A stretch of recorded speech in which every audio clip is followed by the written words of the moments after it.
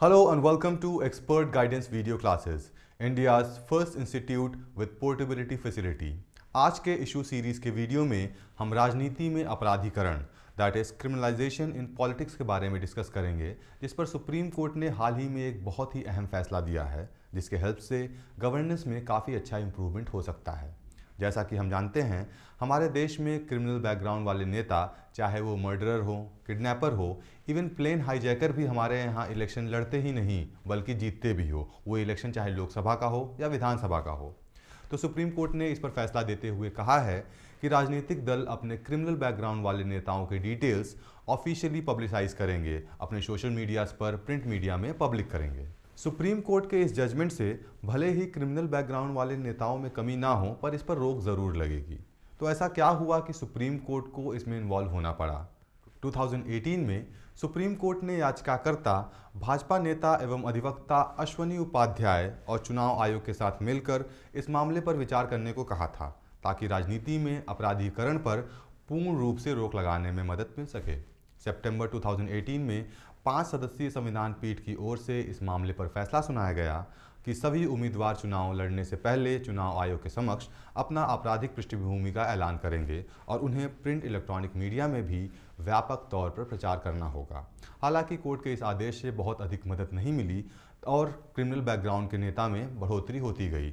अश्वनी उपाध्याय ने संविधान पीठ के सितंबर 2018 के फैसले का पूरी तरीके से पालन न करने के लिए, अधिकारियों और दलों के खिलाफ कार्रवाई करने के लिए एक याचिका दायर की थी, जिसमें राजनीतिक दलों को अपने उम्मीदवारों के लंबित आपराधिक मामलों को ऑनलाइन प्रकाशित करने का निर्देश दिया गया था। लेकिन ऐसा हो नहीं पाया, जिसके कारण अश्वनी उपाध्याय जी ने फिर से पिटीशन फ़ाइल की और 2020 में फिर से सुप्रीम कोर्ट ने इससे रिलेटेड एक जजमेंट पास किया। अगर हम बात करें सुप्रीम कोर्ट के लेटेस्ट जजमेंट के बारे में तो सुप्रीम कोर्ट ने अपने फैसले में कहा है कि राजनीतिक दल आपराधिक पृष्ठभूमि दैट इज़ क्रिमिनल बैकग्राउंड वाले नेताओं को टिकट देने के बहत्तर घंटे के भीतर इसकी जानकारी चुनाव आयोग को दें और ऐसे लोगों को टिकट देने के पीछे का वजह बताएँ। अगर राजनीतिक दल ऐसा नहीं करते हैं तो इसकी जानकारी सुप्रीम कोर्ट को दी जाएगी। अगर हम बात करें राजनीतिक दलों के गाइडलाइंस के बारे में तो राजनीतिक दलों के लिए कोर्ट ने गाइडलाइन जारी किया है कि पिछले चार आम चुनावों में राजनीति में अपराधीकरण तेज़ी से बढ़ा है।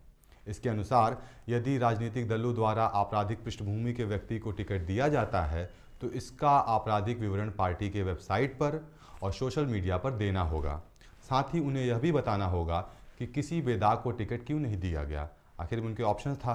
They could provide ticket to the person who are not criminal तो जानकारी स्थानीय और राष्ट्रीय समाचार पत्र के साथ साथ पार्टी के सोशल मीडिया हैंडल पर भी प्रकाशित होना चाहिए। यह अनिवार्य रूप से उम्मीदवारों के चयन के 48 घंटे के भीतर या नामांकन दाखिल करने की पहली तारीख से दो सप्ताह के समय पहले प्रकाशित किया जाना चाहिए, जो भी पहले हो। अगर हम बात करें क्रिमिनल बैकग्राउंड वाले नेताओं के स्टैट्स की तो 2004 से 2019 के लोकसभा इलेक्शंस में अगर हम देखें तो 24 परसेंट से लेकर 43 परसेंट में इजाफा हुआ है। यानी कि 2004 में 23 परसेंट ऐसे नेता थे जो कि क्रिमिनल बैकग्राउंड के थे। और 2019 में देखें तो 43 परसेंट ऐसे नेता हैं जो कि क्रिमिनल बैकग्राउंड से रहे हैं। तो इसका मतलब ये हुआ कि क्रिमिनल बैकग्राउंड के नेताओं में इजाफा हुआ है। अब वीडियो में आगे बढ़ते हुए हम देख लेते हैं सुप्रीम कोर्ट के जजमेंट से क्या फ़ायदा होगा। इसका एक फ़ायदा यह होगा कि अगर राजनीतिक पार्टियों ने कोर्ट के निर्देशन का पालन नहीं किया तो चुनाव आयोग ऐसे मामलों को संज्ञान में लेकर स्वयं कार्रवाई कर सकती है या फिर ऐसे मामलों को अदालत तक ले जा सकती है। अब सियासी दलों को यह बताना होगा कि उनके ऐसे उम्मीदवार क्यों चुनाव लड़ रहे हैं जिनके खिलाफ आपराधिक मामले लंबित हैं। अगर इस मुद्दे को पॉलिटिकल एंगल से देखें तो क्रिमिनल बैकग्राउंड वाले नेताओं को चुनाव में टिकट देने की ज़रूरत ही क्या है? नॉर्मल लोगों को भी टिकट दिया जा सकता है। तो इसका जवाब 2019 के लोकसभा चुनाव में जीते हुए उम्मीदवारों के आंकड़ों से ही मिल जाता है। 2019 में लोकसभा चुनाव में जीतने वाले उम्मीदवारों के आंकड़े से पता चलता है कि चुनाव में क्रिमिनल बैकग्राउंड वाले नेताओं के जीतने की संभावना 15.5 परसेंट रही। वहीं साफ़ सुथरी वाली छवि के नेताओं की जीतने की संभावना सिर्फ़ 4.7 परसेंट रही।